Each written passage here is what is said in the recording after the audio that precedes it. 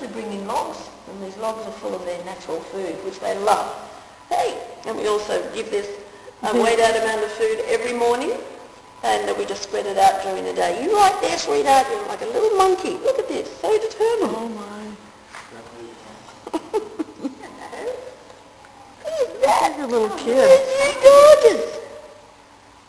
There you go, Eddie. Now, those tongues can be about 17 centimetres in length, believe it or not.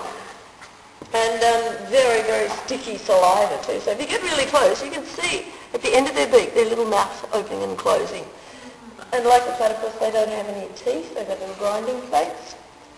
Nostrils right at the end of the beak. A very acute sense of smell and hearing. Now, these are their ears.